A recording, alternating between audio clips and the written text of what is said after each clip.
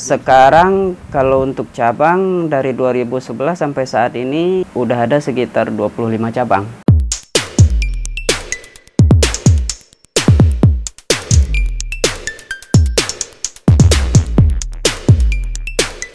Sebelum lanjut menonton klik tombol subscribe dan tandai loncengnya.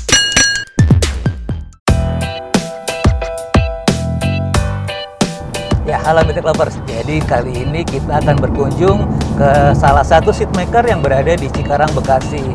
Nah, uniknya seatmaker ini mempunyai insting bisnis untuk mengembangkan usaha jok motor. Nah, kita sudah sampai di dalamnya nih. Yuk.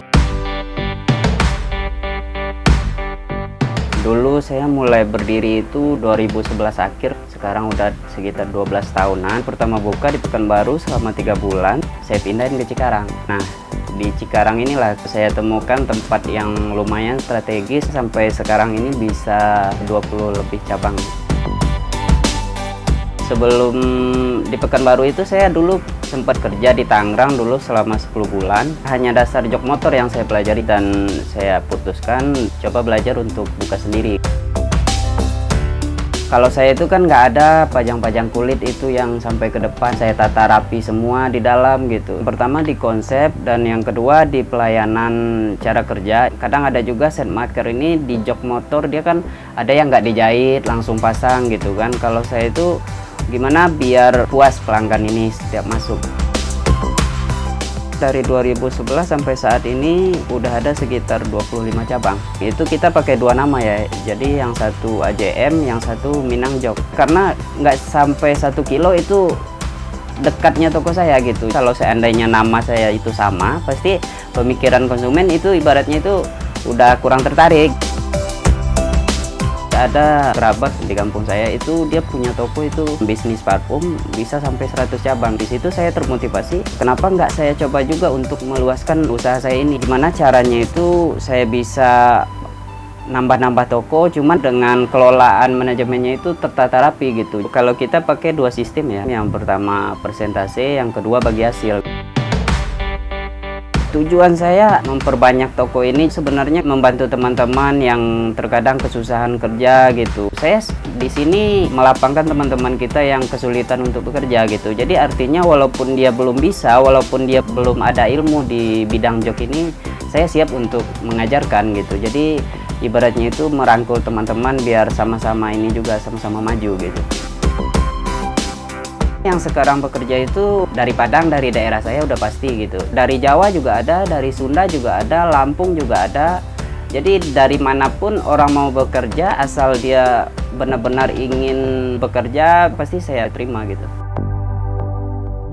Yang pertama itu ya kejujuran, yang kedua memiliki ide-ide gaya seni tersendiri gitu. Jadi kalau saya lihat oh ini memungkinkan gitu, ini bisa nih gitu diajak kerjasama atau diajak diajarin gitu.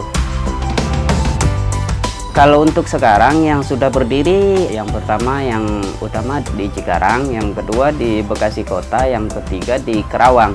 Mungkin untuk ke depannya saya akan memperluas lagi, paling tidak satu provinsi Jawa Barat paling tidak gitu. Ada tiap kota itu perwakilan toko AJM.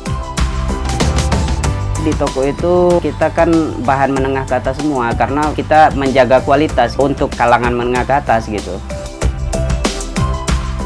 setiap ada toko baru kita supply dari grosir kita. Apa pun yang dibutuhin tinggal ambil ke grosir kita. Jadi ada kepala toko apa kebutuhan di toko yang kurang mereka yang datang ke sini untuk mengambil gitu. Kalau untuk tempat usaha kita pemilihannya itu saya survei dulu. Kalau seandainya memungkinkan makanya itu ini masih ada dua toko lagi yang harus saya buka ini sampai saat ini belum ada kesulitan sih. Karena saya itu semua itu ada bagian. Yang bagian keuangannya ada yang bagian dekorasi ada yang bagian barangnya ada. Jadi tertata lah gitu. Kalau untuk target setiap cabang saya punya minimal omset yang harus dikejar gitu. Minimal itu 5 motor satu hari. Jadi kalau satu minggu itu sekitar 35 motor. Ada beberapa outlet juga di online. Kita di Lazada ada AJM Modified, Arif Jog, Minang Jog. Jadi di Lazada itu kita ada lima akun ya. Di Shopee kita juga ada AJM Modified ya. Di Tokopedia kita juga ada AJM Jog Modified di TikTok kita juga ada AJM Modified juga ya. Kalau untuk media sosial itu dari Facebook dilanjut ke WA. Di online itu pasti harga lebih murah ya, lebih murah dibanding harga toko karena di online itu kan nggak dipasang gitu kan, hanya sekedar jual barang. Jadi dari mulai satu set sampai mau sarungnya aja, busanya aja kita jual kalau naik turunnya udah pasti ya yang namanya kita usaha ya sejauh ini masih bertahan bahkan makin bertambah malahan toko saya gitu. Nah kalau untuk covid waktu itu mungkin bahkan teman-teman juga ngerasain ya penjualan pasti menurun dan ada beberapa toko saya waktu covid itu emang nggak boleh buka gitu. Jadi saya agak pusing juga nih. Sedangkan sewa toko tetap berjalan gitu. Nah kebetulan waktu itu saya kan hobi ikan ya. Jadi waktu itu sempat saya jual beli ikan arowana sekitar setahunan. Setelah corona habis penjualan jok itu kembali stabil, saya putuskan saya harus aktif kembali di jog gitu